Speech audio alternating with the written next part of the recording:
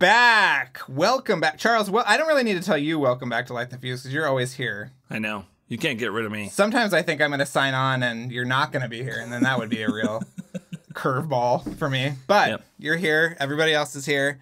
It's Light the Fuse, the one-stop shop for all Mission Impossible related goodness.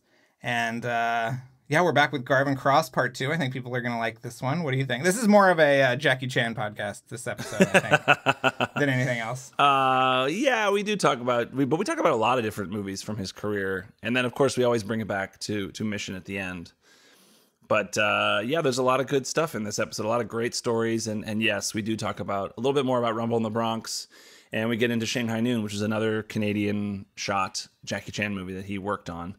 And he tells some really good stories about that, and, and yeah, just uh, I, I love. We'll talk more afterwards about some of the other stuff, but it's it, like hearing him talk about the Predator is really fascinating because that production, those troubled productions, always fascinate us. We always wonder yes, what we are what- obsessed. so so crazy. But before we get into it, actually, I wanted to bring up something. Um, Darren Baker, one of our followers on Twitter, I believe, uh, he sent us an article because you know we found out that Thandie Newton's hair in MI2 was a wig. Oh, of course, yeah. He dug up an article from 2017 that was all about Thandie Newton wearing her Mission Impossible 2 wig to the BAFTAs. Oh, so it's still in rotation. Yeah. So so it said Thandie has now revealed that the striking dark tresses, which this is from an article from Hollywood.com, uh, the the hair which cascaded over her shoulders were the result of a wig, one which she was given on the set of the 2000 action movie Mission Impossible 2. And then she's uh, she said people kept talking about my hair at the BAFTAs. It was actually a wig. Nearly 20 years ago, I did Mission Impossible 2. I had three wigs in that, and they cost about 10,000 pounds each. We used two of them and would rotate them. Then there was this third one that was never used. The hairdresser on set made Tom Cruise give me the raw wig that cost 10 grand. I never used it, but last night I got that wig out. And that quote's back from 2017 uh, after the BAFTAs. Wow. So not screen used, but No, I guess not. for That was the the, production. backup. Yeah. Yeah. But still good. Still great, I say. I'd love any wig from any Mission Impossible movie. I don't care who's worn it or hasn't worn Yeah, it. Just, well, hey, yeah. we're, if anybody's got any Mission Impossible wigs out there just lying around, we will gladly take them and wear them Yes. while we record the show. Yes, I think that would be great. um, we should make that a Patreon goal of some kind. Um, but uh, yeah, that's really that's a really fun story. Yeah. I'm glad you brought that up. Thank you, Charles. Oh, you're welcome. I feel like sometimes maybe the things I, I bring up to you are not not a winner, but that one was a winner. That's good. I thought so. I mean, we love Thandie, we love wigs. yes. and the fact that it was a Mission Impossible had that great Mission Impossible 2 connection. I think I think that story was a winner. I think the listeners can tell us whether or not they were bored by that story and um, but I'm I'm That's very the most pro important thing. that story. All right. Well, so why don't you give us your favorite part of the show? Okay, well I've got some shout outs this week um, and of course uh, being led off by Jeremy Dillon and his podcast, My Favorite Album. And we want to remind everybody that Eddie Hamilton was a recent guest on there. Uh, we love Jeremy. We love Eddie. It's a wonderful interview. And Jeremy has tons of great interviews on his podcast, My Favorite Album, where he kind of quizzes people about the music they love and how it's influenced them and their work. And we've been on there a few times. We have. I suspect we will be back. I hope we're back this year. I thought our, our, our yearly wrap up was a real fun Yeah, maybe that'll become a tradition. We'll see if Jeremy likes I would love it enough to. to do that. I wouldn't blame him either way. No, I mean he's got a lot of stuff to do. Even though he's not asking Kacey Musgraves for her rankings, which Yeah, I don't. I still don't issue. understand Yeah. that. yeah. Uh, this episode is also brought to you by John B. Uh, it's also brought to you by Elvis Ripley and our newest shout out here, Suchet. So thank you all so much for your support of the show. It means the world to us. And uh, myself and Charles will be back right after this Garvin Cross Part 2.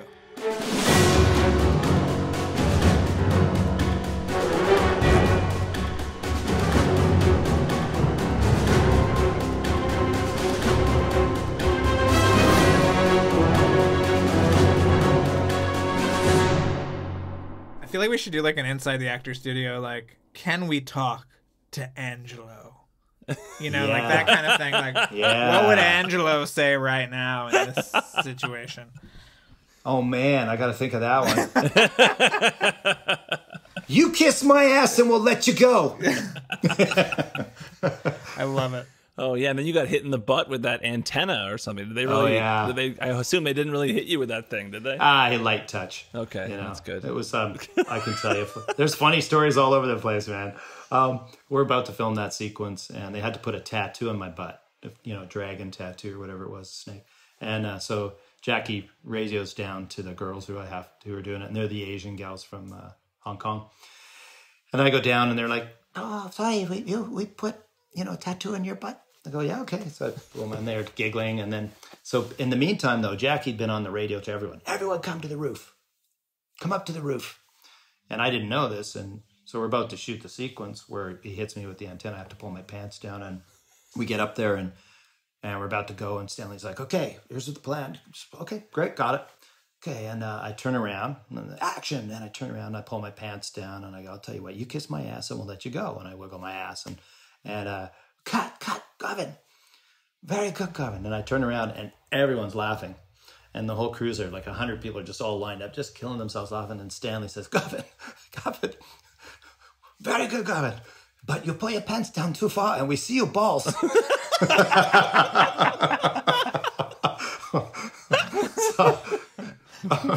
wow.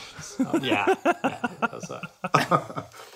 so, and uh, but that was great. It was a, a, wonderful experience again. I mean, he was so talented. The Jackie team, you know, his team were super talented. It was really crazy and, and fun. And it was kind of the first era of wires that you that were sort of taking place that Chinese had brought over and you know flying people and hand pulling people, you know, Right. instead of ratchets and and they were braiding wire sometimes with their hands with knotting it and really different. It was it was wonderful to see. I've heard that like ja- Jackie's like philosophy with wire work back in the day, at least, was that you wouldn't use it to to like enhance. It was more to enhance the effects of, of a punch or something. Like if so, if you Yeah. kicked somebody or punched someone, you'd use a wire to yank them and have them go flying and stuff like that. And that's what they were doing. That was their some of their technique. Yeah, like in the in the fort sequence where the you know the pinball, the pool table, all that. I wasn't in there because Angelo wasn't there at that moment, but I just came and watched and helped. And it was yeah, they were doing that, pulling That's people awesome. and and then also changing the frame rate a little bit just to speed it up a tiny bit, but not a lot. That's right. So Dan Mindel, which you worked on Shanghai Noon as well. We Yeah. had we had Dan Min- Mindel. I, I'm not sure if it's Mindell or Mindell. He was the cinematographer for Mission Impossible Three, but he also shot Shanghai Noon. And he said that I think he said they would that a trick that he learned from Jackie was shooting 22 frames a second Yep. to make it Just just look a a, little bit faster. Yeah, and you and it was wonderful because you couldn't tell, Yeah, and it just gave a little more strength to the to the scene to that whole you know fight. Yeah. that's amazing. What did you do on Shanghai Noon? Um, I was one of the guys. I was just I was there only for about a week. I was just one of the Western guys. You know, I came. Uh, buddy said, "Hey, come on over," and uh, we need a bunch of bodies. And I was working on something else. I said, "Yeah, I'd love to." So I went over and had a beard and you know cowboy, and uh, it was the horseshoe scene where I was going to ask, was it the horseshoe fight? Because that's like the, Yeah. that's maybe the best scene in the movie when Jackie ties the rope to a horseshoe and then throws. Oh my god, that's so great. yeah. So that was it. Yeah, I was with that guy, one of the two guys there. Yeah, it was really remar- remarkable. Like just being there again with him, and he. So one of his guys, I'm in makeup, and he go. And about the second day, I wasn't going to go over and sort of point myself out that, hey, Jackie, because he was quite busy, and uh, guy looks over at him and goes, Angelo. so about a day later, uh, his assistant, I forget what her name was, comes over to visit. Jackie would like to see you, and I said, oh, okay. And then another day goes by, and I just thought, oh, he's so busy, it doesn't matter. I'm only here another couple days. You know, I'm just an ND stunt guy. And uh, and then we went for a walk, just him and I. We talked about Rumble. We talked about him becoming big in, in Hollywood. It was actually a, Wow, one of those pivotal moments in my life. It was actually that had to have been like right after Rush Hour too, right? When you were shooting that. yeah, So I mean, he must have really just hit it huge. yeah.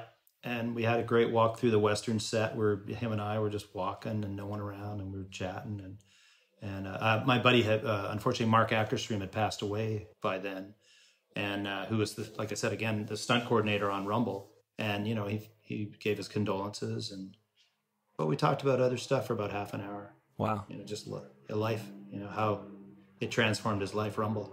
that's amazing. Uh, well, I could grill you about Jackie Chan all day, but uh, I feel like for the sake of our listeners who want other things, uh, so you you were on Elf. Um, I wanted to Yeah, ask, that's what did- people are really looking for, Charles. Yeah. Like, Well, this- I had one specific anecdotes. question. Did you do the jump onto the Christmas tree? No, Okay, because that stunt is amazing. we did some green screen stuff as bodies, and I and I really honestly, I, I'm sad to say it wasn't much, but it was it was the sleigh for Central Park, and it was a body. It was um James Caan. Was it no? James, no, James Yeah, was yeah, down below. it was But James yeah, Caan. But yeah, but I was down. I was in the sleigh. We were lining up a bunch of shots and doing things, and um, can't remember what else I did, but. Sorry to say, because it was just a blur. That Right. Uh, I was I was only there for a day, and we did a couple different things. But I, I dropped kicked uh, Will Ferrell. Yeah. Oh, that's good. No, I no, I'm joking. I'm joking. yeah.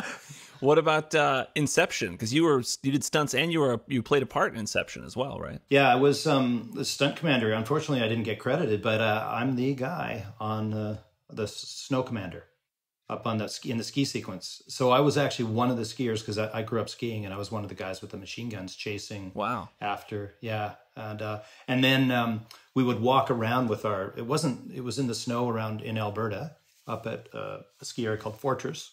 And it wasn't super cold which was great. It was um just below freezing which was perfect for shooting.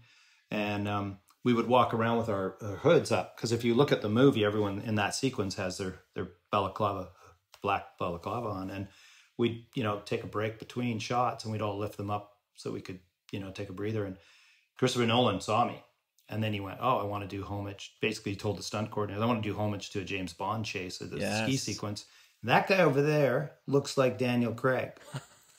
I didn't know this until after, and uh, one of the stunt coordinators yells over to me, and I'm walking, and he goes, "Hey, Garvin," and he knew I could act, and so, can you act? He did it on purpose. And he was smiling with his back to Christopher Nolan, and Chris, and, he, and I go, oh, "Yes, of course, I, I can act." And then I was like, "Yeah, get him up on the, get him up on the Hummy." So Nolan Nolan picked you out because you look like Daniel Craig. Yeah, so it did help me.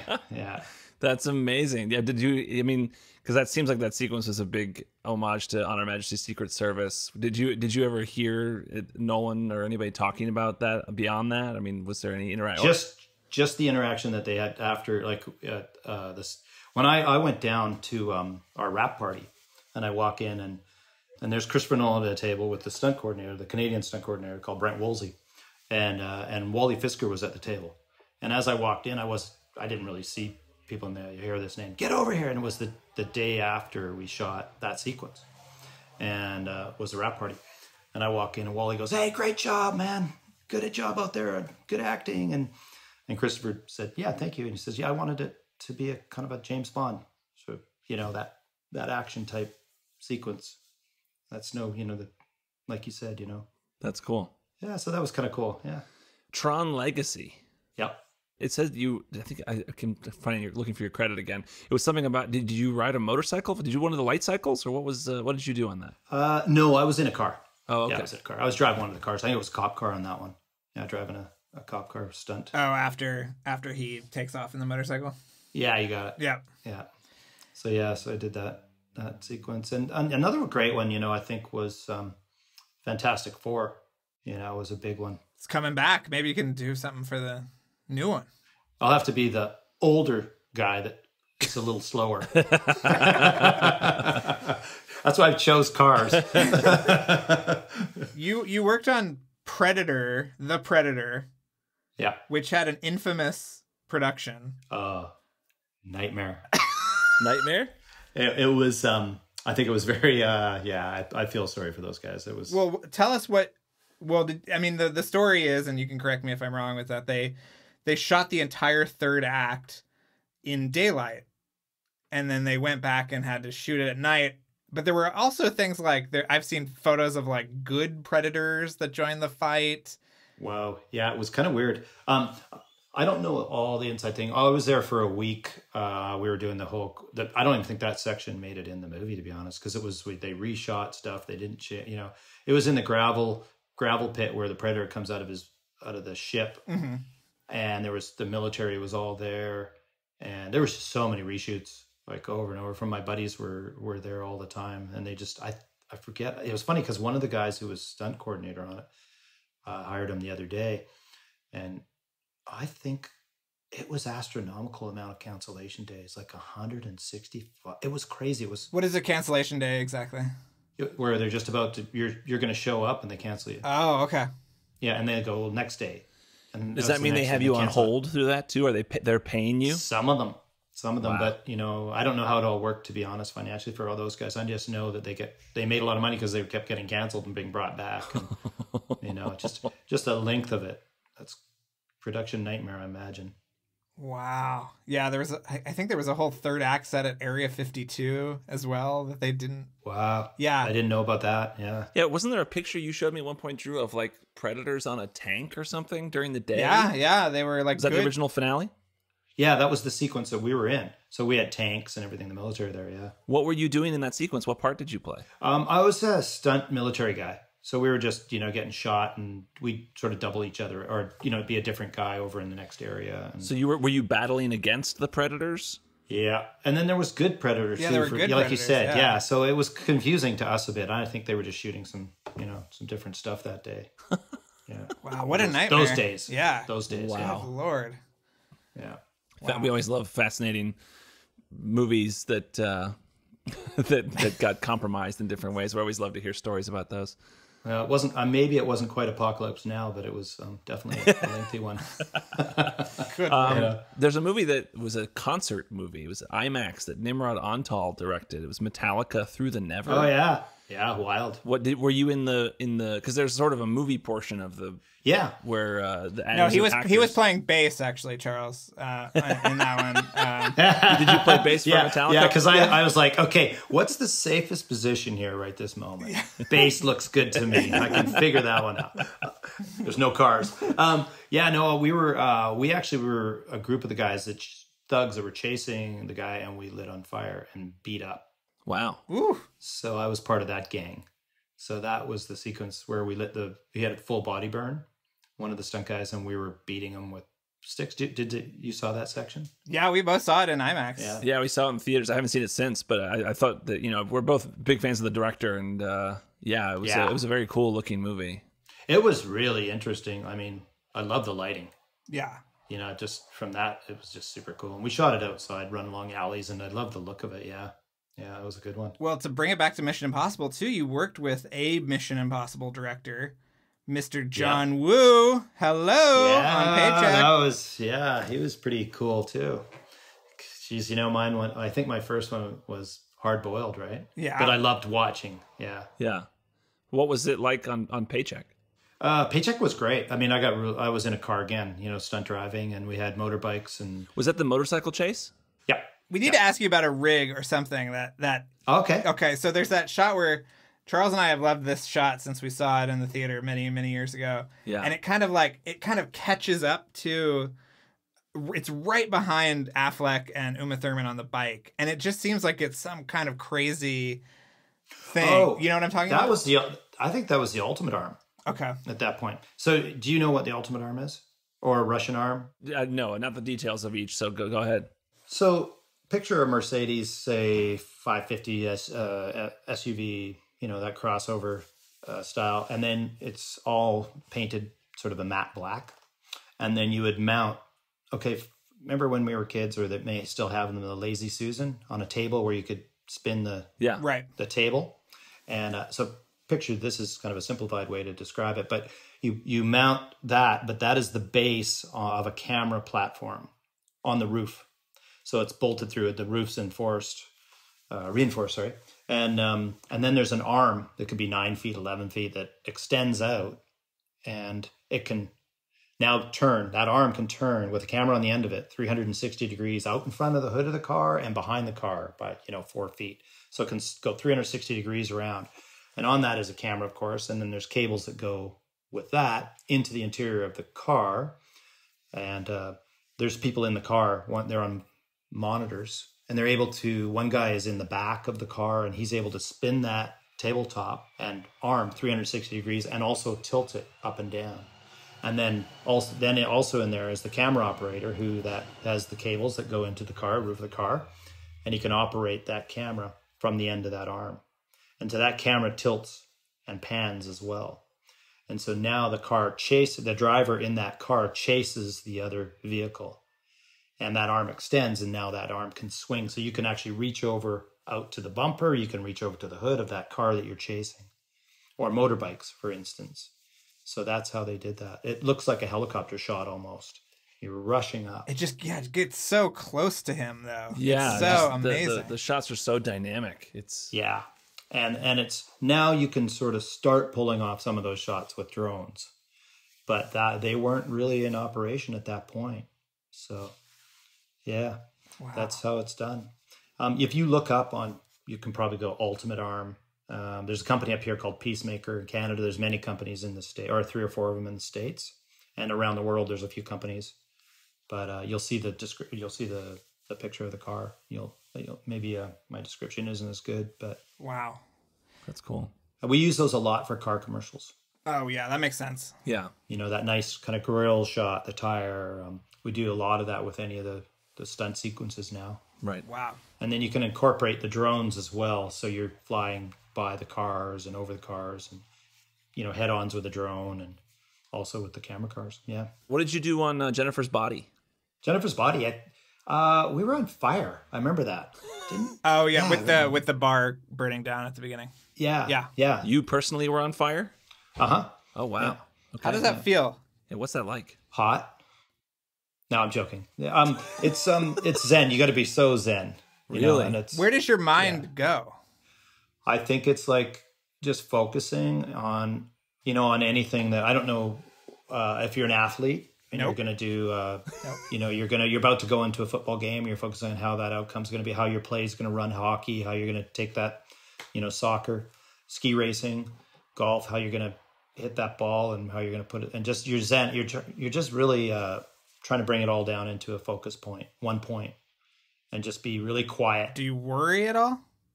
Uh, I think it's always healthy to have a little bit for sure. Do you think like I didn't see Paris or something? You know, I would think like that. Would, that's how, that's what I would be thinking if I was. Yeah. Damn, I knew I should have had that other glass of wine. Yeah, exactly. I didn't. I didn't finish my book that I just started. Yeah. Yeah. Um, yeah, I think it's always important to have a little bit of, I'm not going to say it's fear or if it's a little bit of nervousness or just so that keeps you on your toes and to keep you focused. I think that's important. How many times have you been on fire? Many.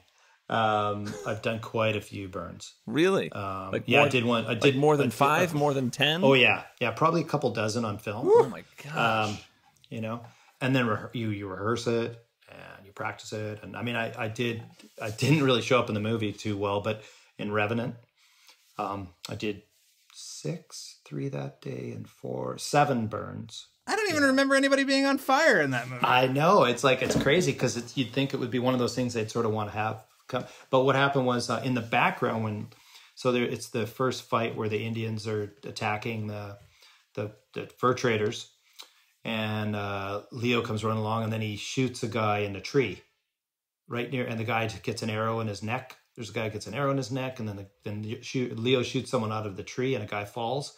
And there was a scene where the camera was going to pan around, and there I was walking, burning on fire, and uh, and they changed it so I was kind of slightly background. And in the movie, it looks like the distant background. There's a little tiny burn thing going on back there. but it was interesting for that one because everything was a timing issue because it's all like oners, right? Yeah, one or so we were counting. So Leo had to shoot the guy. The guy on the ground that was dead or playing dead near me had to be lighting me on fire. And then I had to turn. So we had to get there before the burn had to be happening before they got there with camera. So it was always a timing. We Is did. that like a selling point? Like when you're up for a job, like, hello, I can uh, bur- get burned real good. I can fall out of a car, whatever you need. Like, exactly. It's the auditioning for stunts. right? Yeah. Last night I lit myself with a Molotov cocktail. Yeah. you're hired. It was an accident, but it was a good burn. Wow. I would be worried about my hair. Do you worry that your hair is going to get? I mean, what kind of protective stuff do you have over your? We we have a it's gel. You know, there's a gel, gel, okay. that we use. It's a stunt friendly gel, and um, there's some really amazing technicians out there now, fire burn specialists that have created protective gels that you know they're sort of a milky substance or wet. You know, and that look great. And your face, you got to protect your face a lot. Wow. Um, So you have. So you're. Are you covered in this gel, and then you're. cut And then is that? And then is there another substance over that that is flammable, or is it all one gel that protects you and goes on fire? typically you're not putting that fire gel on your face. You're you're keeping it on your your wardrobe, or you can put it on your the fire gel. So you do put a, a protective gel on, and then you can actually put a fire gel which lights on top of that. Okay. And you can do that on your bare arms with some of the nice with some of the the materials we have now, and a lot of it is on your your wardrobe, your costume, and. In that sequence, we had leathers on, which is great because it's protective to a certain degree. And then what happens is you light to a certain degree uh, up on your body, and then the flames will shoot up past your ears and your head and you just have to keep moving a little bit in that sequence it was kind of yeah it's it's um it's it's pretty interesting yeah for sure Wait, so but how does your hair stay there? He has gel on You his gel. hair. You gel- I think you Charles. said you Good only gel on God. the body. Sorry, I'm, I'm okay. Look, I'm, I'm, I'm a little and slow. your hair gotta- and in your ears trying in to your ears in your on- in your ears. Yeah you put in your ears you up your nostrils a little bit oh you know, just so you don't burn anywhere I just want to be squibbed. yeah What about your What about your eyeballs? Do you have like a glasses, goggles, or something? not when you're doing an open face one just you're keep just your doing eyes your, closed? Oh yourself you kind of squint oh you do squint yeah Ah, that is horrifying. Just bring just bring some squibs over, Garvin. I need to get Okay. get get this. I want big, bloody. You know, I want like Django Unchained squibs. Just You guys should do that. You should you should actually interview a special effects guy that and have him come and, and squib you because it's it's actually an interesting thing to do. I know. Drew keeps talking about it. He really wants to be squibbed in a in a movie. So Yeah. Or just Yeah. like in the neighborhood. I mean, as happen. long as nobody thinks that I've actually been shot a bunch of times. Yeah, you might want to have the person you're with not have a, anything in his hand. Right. this is how I frame Charles for murder. yeah, yeah. You did not bring me coffee today. I know you've got uh, you've got Slumberland coming up on Netflix. Yeah. Do we should we Yeah. should we uh, plug that? Sure. I mean, I don't know how much we can talk about it, but you know, it was really uh, that was really cool. Um, it was a I got to drive the Ranchero for the actress. I was she rarely was in the car. We had a stunt double in the left hand driver's seat, and I was in a right hand driving ran, uh, El Camino. Sorry, Ranchero El Camino, and um, so we were uh, in the sequence. It's I don't know if you've you know much about Slumberland. Do you know? Well, it's based on the Winsor McCay stories, right? Yeah. And Momoa's Yes. in it. I saw the trailer, so I know Momoa Okay, great. has horns. That's about. I haven't seen the trailer yet. So, Oh, yeah. So did they have the vehicle in it? I don't know if they did. It's a pretty fantastical. Yeah, so Trailer, yeah. we're doing a chase sequence. So he's in on the gar- big garbage kind of truck thing, right? And uh, it's a it's a monster, huge truck, like massive one. And the the vehicle I'm driving ha- comes up beside it, and they're bumping. They're kind of he's it's you know that fantastical fantasy land, and it can and the car gets spun away. And so I spent I was eight days driving on an airport, and then of course they'll make that a fantasy world, you know, computerized. And uh, but right hand drive was tricky there because the left side I always had to. The actress was in the left or the stunt double. The actress only once in the car with me when we were sliding to a position that had to be stopped a couple feet before what was to, to be a cliff, and then she'd be looking over the cliff. But the stunt double for her looked amazing and was always on the left side, so it looked like she was driving. And then I had to pull up beside whatever and and act off of that and be within some inches and a few inches or six feet, four feet, three feet, two, you know, behind it, and always driving from that right position. So, yeah, it was a lot of fun and tricky at the same time. Well, we we ask people a couple of questions every week. Everybody gets these questions, and I think we've come to the part of the show. So, assuming you've seen the rest of the Mission Impossible movies, not just the ones that you were a part of, you want to rank the Mission Impossible movies from your maybe your favorite to least favorite? Well, I could probably give you a one to five or seven or ten or you know, like um, There's only six, so you don't have to Yeah. do that much. Okay, go ahead. yeah. Um, I'm gonna say it was definitely probably the second favorite one. Yours was the For sec- yours was Yeah. the second favorite. Well, what's Yeah. your which is your favorite one? I'm trying to. I'm having a bit of a brain fart with the plane and everything else. Was That was pretty Rogue Nation. That's five. yeah. That's your favorite. I think so. Okay. That's with the the opera sequence and everything in that one. Yeah. Yeah. Yeah. I mean, obviously, people have. You know, it's all subjective. In in the end, certain people have certain what they like. That one come. That one's a lot of people's favorites. So you're in good company. Did you see Fallout in terms of stunts? I mean, that one's pretty damn Yeah. impressive with the Halo I mean, jump that was impressive, helicopters. Yeah, I mean, I'm pro- I'm gonna be biased, right? Because the Halo jump was incredible and all that stuff. Yeah, so but I'm biased because I got to work on and that whole feeling of being there is probably gonna favor me a little. Of course, yeah, yeah. Yeah. Well, the other question we ask people is, you know, what what is your favorite Tom Cruise hairstyle? Are you a long hair guy? Are you a short hair guy? You got to be up close and personal to that long hair. one of those love so longer much. haircuts, yeah. What was uh I don't know, you know, I almost think that uh risky business was pretty funny. You know? I love it. I love it. yeah, I think that's a good one. Well, Garvin, thank you so much for coming on to the podcast um, and turning it into a Jackie Chan podcast. Yeah, sorry. Thank you for Yeah, we kinda- indulging me in that. We got sidelined a little. I'm wearing my Jackie Chan shirt today, actually. Oh, you are awesome. I have a jacket from him. Yeah, which was great, signed by him. You got to send us pictures of that jacket. But I will. but yeah, thank you so much. I mean, I think it was worth the uh, the two year harassment campaign that Charles I leveled against you. apologize immensely. No, no worries at all. We know every. We, we yeah, we, we we hound a lot of people. You're not the only one. No, but good for you guys to keep it up because uh, really, I, I was, you know, not the best candidate at the best, you know, to return phone calls and stuff. So, what doesn't kill you makes you stronger. So, That's true. Well, we really appreciate you making the time for us. And yeah, please keep in touch. If there's anything else we can do, uh, let us know. yeah, okay. Uh, you know, I can't tell you about a project I just finished, but it was just immense, huge commercial. Really? Let's Yeah, see. Let's was- see if we Oh, can no. guess what it is. Can we guess? yeah, see. they'd kill me. I'm on an NDA, but uh, yeah, it was, but a huge director. Huge director. okay. I assume it's filming in Canada, so we'll, we're, we're gonna figure it out. Huge director. Okay. yeah, but great people and big, big five. It was five days of full on, which was great, a lot of fun. Wow. Yeah, we'll talk about that when it Yeah, comes out. Yeah, we'll check back in with you when, when it does. Awesome. Well, thank you. Thank you so much for the time. Okay, guys, all the best.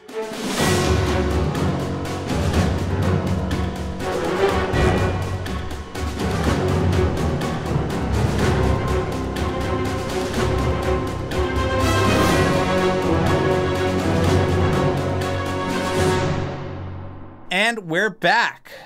Charles, how you feeling? It's hard to say goodbye. It is always hard to say goodbye, especially because he's so nice. He's got the you know I know. just the Canadian nice thing. I mean, he's just such a such a great guy. It was it was really fun talking to him, and he had so many great stories. So it's always so hard to say goodbye to our guests. We have so many wonderful people that we've met over the years through the show, and some of them have become dear friends. And Yes, it's been such an amazing journey to be on. it has. But- it has. Uh, I love that. Uh, I love that the uh, that he was a part of the horseshoe fight in Shanghai Noon. That's like my favorite scene in that movie. It's such a great. Do you remember that scene at all? He Jackie Chan ties this rope to a horseshoe and then he just swings it around and does all these you know kung Okay. fu moves. That was kind of like the whole thing with Jackie in that movie was like I want to mix the old west with the east, and so that was like one of those instances of he uses the horseshoe as a like a kung fu weapon. It's cool. Uh, very cool scene. Uh, I'm gonna, I want to I want to rewatch and, and look and spot him in there now. But uh, I also love that Jackie like took a walk with him to reminisce about how his career had taken off since Rumble in the Bronx. Because it's so crazy. Because Jackie had like basically given up on making it in America at that point when Rumble in the Bronx came out. I think it was actually Tarantino that convinced New Line to pick up Rumble in the Bronx and put it in theaters. Because he didn't, it wasn't that movie wasn't made for an American release. He was just making his usual movies. That's what Jackie was doing and because he had tried a couple of times in the 80s to break through in america and failed miserably with battle creek brawl and the protector. Uh, two like it's in the early 80s and then again in 86 he tried. But hollywood like just wouldn't let him do the make the movies the way he likes to make them because you know he took he you know like drunken master 2 he took four months to shoot the climax of that movie.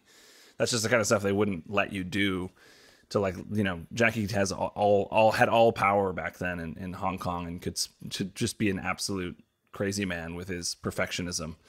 But anyway, I could talk for hours about Jackie Chan. This is not a Jackie Chan podcast, so I will stop now to spare you and our listeners. Uh, no, I thought it was great. I love, you know, I feel like he still remains an, a sort of enigmatic figure, especially in the West. So hearing people's interactions with him, we obviously just had Maggie Q on, who is a sort of protege of his. yeah, You know, it's just it's very illuminating, and it's a it's a part of the industry and modern cinema that not too many people uh, get to take a look at. So I feel very lucky that we kind of get to peek behind the curtains of that a little bit.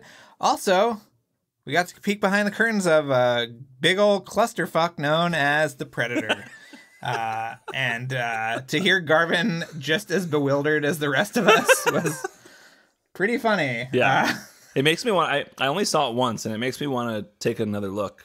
I'm just curious about it. I mean, the whole the idea that they sh- reshot the entire third act at night instead of day. I mean, just everything just sounds insane. Well, yeah, yeah, and you al- you always see um, concept art that pops up on Instagram, like people's like NDAs, you know, run out, and they Right. they post photos of human hybrids and spider hybrids and all these things. It was you could tell it was a much different movie. Didn't they have a bunch of different endings planned too, like surprise? Not, it's not a twist because it, they didn't actually shoot it, right? But because they, had ideas of like having Ripley show up from the Alien movies. Ripley show up. Arnold show up. so this is not a spoiler because it didn't actually happen. They were gonna weren't they gonna have try to get Arnold back from the original Predator or something? Yeah, They, they yeah. tried all these different. Actually, wasn't it going to be Ripley with Newt from Aliens? I don't know if Newt, maybe Newt was part of it, but yeah, I think the Ripley one was definitely a part of it. I, I talked to uh, Fred Dekker a few years ago, and he kind of told me some stuff. We should have him on the sh- on the Patreon just to talk He about. He was a co-writer.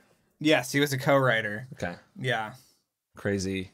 yeah. Yeah, I love Shane Black so much. Uh, he's made some of my favorite movies, and intellectually, it, it, it sort of made sense to be like, yeah, because he's in the first movie. Have him do a Predator movie.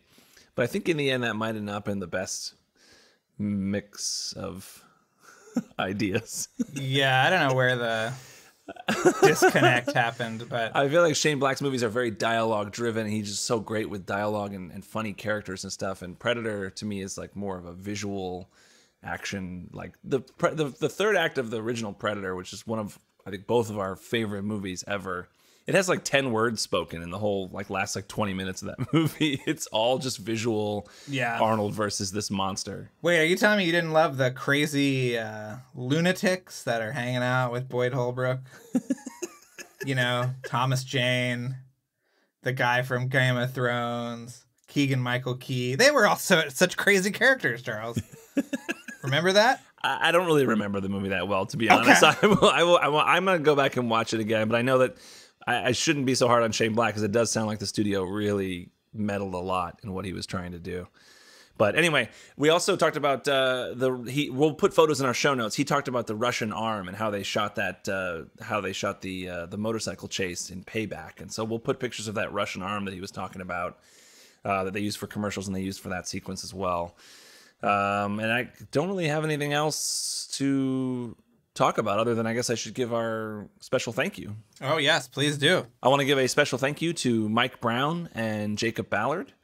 Uh, thank you, Mike and Jacob. And I also want to credit our music composer, Kevin Blumenfeld. And I want to credit our editor and mixer, Luke Burson. And tell everyone to check out our Patreon, patreon.com slash light the fuse. We do bonus episodes there every week.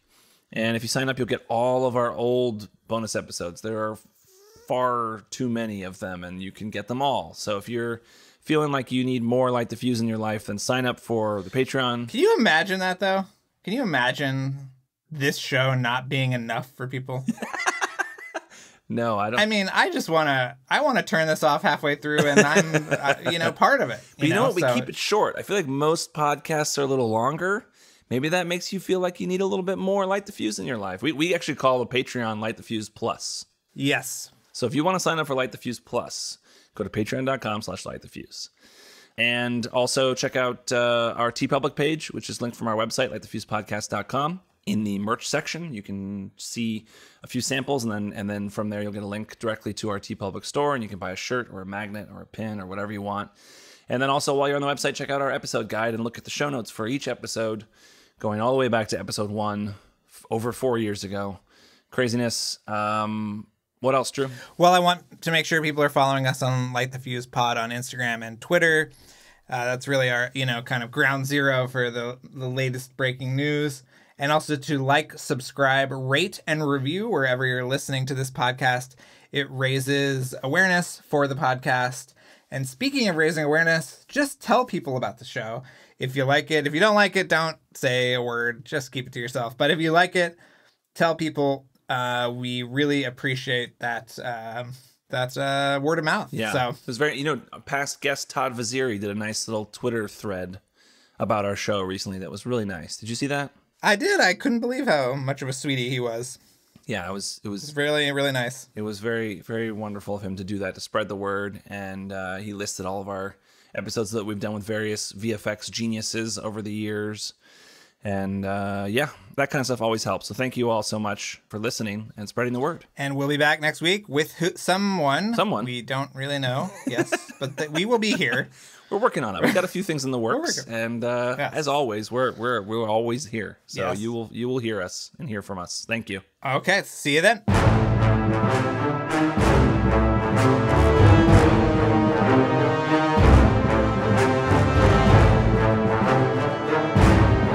Thanks again for listening, everyone. Before we go, another mission, should you choose to accept it, please rate, review, and subscribe wherever you listen to podcasts. And remember that you can follow us on Twitter and Instagram at Light the Fuse Pod, and email us questions or comments at lightthefusepodcast at gmail.com. This message will self destruct in five seconds.